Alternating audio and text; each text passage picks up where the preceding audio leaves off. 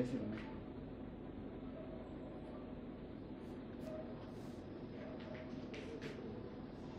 मेरा दावा इतना सुंदर नज़ारा आपने नहीं देखा होगा। पहलवान आपने बहुत देखे होंगे, लेकिन गो पहलवान नहीं देखा है। मुझे गर्व है कि आज मैं हरियाणा आया हूँ और निश्चित रूप से ये जो पहलवान है, वो दुनिया का सबसे दिव्य पहलवान है, जो गौ माता की गवे कला कुछ नहीं करता